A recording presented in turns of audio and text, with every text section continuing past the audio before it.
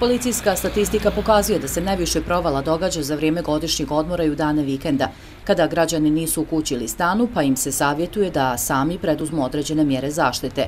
Dakle, ako idete na godišnji odmor, o tome obavijestite komšije kako bi obratili pažnju na vašu imovinu dok niste tu, poručuju iz Policijske uprave Bijeljina. U tom smislu treba obezbediti, znači ovdje da komšije malo pripaze, ako je preko vikenda je ovaj komšija, ovaj će njemu pripaziti na stan i tako dalje pa i nama ako jave da, mi, da može neko da nam javi, jer vi imate područja kao što je područje Pelagića, Orlovo, Polje i gore, ili vamo Luka, Lukavica i Piper i ovo gore na Majevici. Čovjek dođe i kaže obijana mi kuća. I onda kad je obijana? Prije godin dana. On je bio zadnji put prije godinu. Kao, ko može to?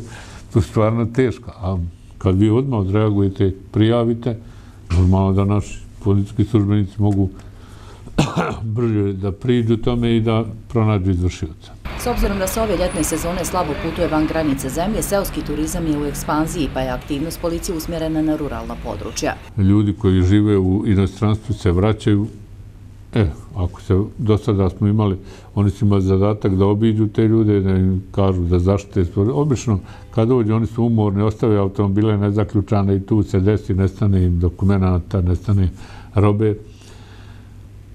Imali su zadatak da ih obiđu, da ih pripreme, da to sve moraju da urade da bi se zaštitili od eventualnih kriminalnih lica. Međutim, ove godine normalno da nema putovanja, gdje god krenete, morate računati kako ste pošli da budete 10 dana na moru, da će to trajati minimum 34 dana, dok sve države prođete i po 14 dana u karantinu budete i na koju se nikom ni ne ide više na odmah, ali zato je počeo seoski turizam, zato je fin i to je dobro.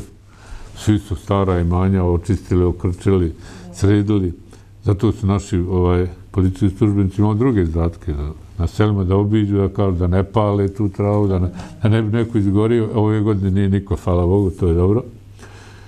I zato se više radi na ruralnim područjima, znači, e, sad imamo manji broj, no, prije se desi nekoliko provala, za redom neko obio vikendice u Amajlijama, vikendice na Savi, sad niko ne obija, jer je tamo uvijek neko, Policijska uprava Bijeljina apeluje na građane da povedu računa o zaštiti svoje imovine kao i da prijave policiji kretanje sumnjivih i nepoznatih lica i vozila, naročito u naseljima i ulicama sa malom frekvencijom kretanja lica i vozila.